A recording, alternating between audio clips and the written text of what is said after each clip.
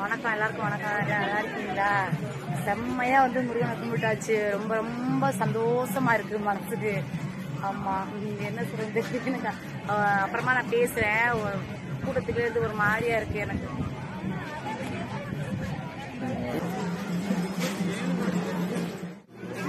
தாமரக்கா. ஐசே. தாமரக்கா.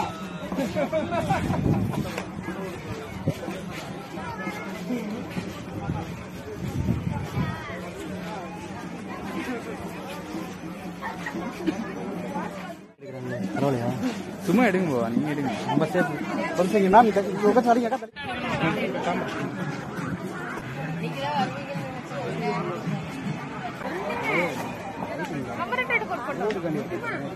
நாங்களாம் எப்போ போட்டோ எடுக்கிறேன் கமெண்ட் நாங்களாம் எப்போ போட்டோ எடுக்கிறேன்